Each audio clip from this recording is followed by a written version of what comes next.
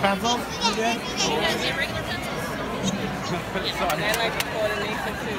Like not outside when you gotta hop around. Oh.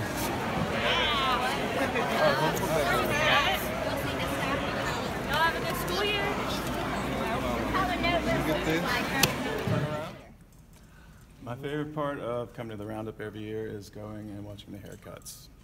I think that is uh, that's where it's happening, and uh, and it's also you know where you see the kids walk in and you see the smile on their faces, and and you know one of the main reasons when we were starting this was to bring some excitement to to every kid that that is going into school and, and trying to build them up and make them feel good about walking in school that first day. So uh, that kind of you kind of see that manifest. To know we're helping kids, but to, to see our community come together the way it does is it's pretty awesome.